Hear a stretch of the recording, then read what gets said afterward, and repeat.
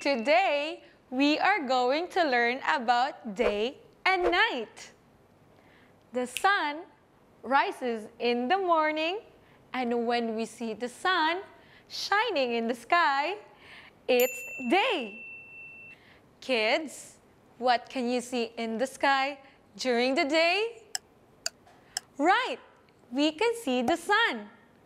What else? Yes, we can see some clouds too. What else can you see? Hmm. Yes, we can see birds, an airplane, and a colorful rainbow. When the sun sets in the evening, that's when we don't see the sun in the sky. We call it night. Kids, what's in the sky during the night? Yes, we can see the moon. What else? Correct. We can see the stars too. What else can you see? Hmm. Right. We can see some clouds too.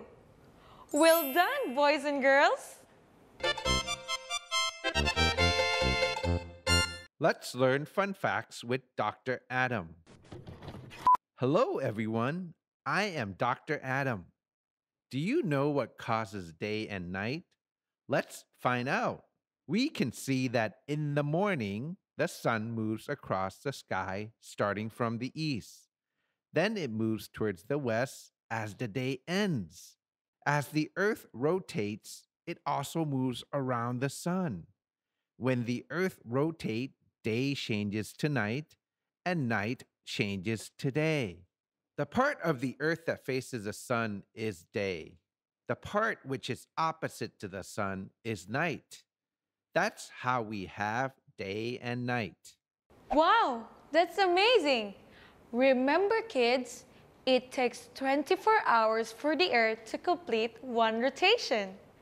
Daytime is from the time of sunrise until the sun sets. Nighttime is from the time the sun sets until the sun rises.